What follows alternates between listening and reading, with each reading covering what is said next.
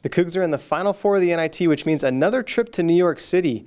BYU struggled at the Barclays Center earlier this year, but this time they're headed to Madison Square Garden, and they're just excited to be back in the Big Apple. For the chance to, get, you know, to, to go back there and play some more games, it's going to be it's going to be exciting for the team, but it's all about it's all about business and all about you know going to win two games. Growing up, you always uh, have dreams of playing at a place like that.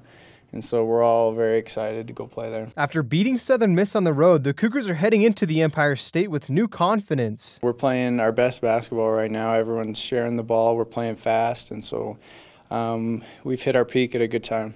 BYU will face the Baylor Bears for the third time in just two seasons. The last time these teams met, the Cougs fell hard in Waco, 79 to 64. We literally were a different team last year, and then, I mean, we've we've changed a lot from when we played them at their place. So it's uh it's gonna be fun and I'm just excited. It'll be tough. I mean, they're very talented, really long, very athletic, uh, and Pierre Jackson is a guy that right now that looks like he's trying to prove to uh, the world that uh, he's a much better player than people maybe give him credit for. Possibly the biggest story in the NIT has been the emergence of Brock Zylstra. Coach Dave Rose is happy for his senior, but not surprised. We had a scrimmage that Saturday before Selection Sunday. Okay, we'd been home a week. We're practicing hard.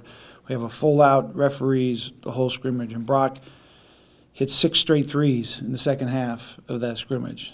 And uh, you know, of course, as coaches, we get in the locker room afterwards, and we're all mad at the guys who were not guarding Brock. Okay, we're all mad at the defense.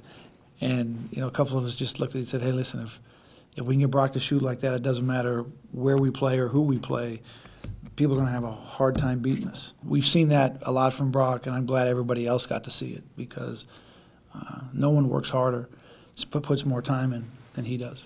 Not all good news for the Cougs, though, as Josh Sharp continues to recover from an Achilles injury. He didn't practice today, and he's running around pretty good on the side. Uh, ran some stairs today without a limp, so it's getting better, but uh, we'll just have to wait and see. If this BYU team can get past Baylor on Tuesday, they'll become the only Cougar basketball team ever to play beyond April 2nd in the calendar year. Jake Edmonds, BYU TV Sports.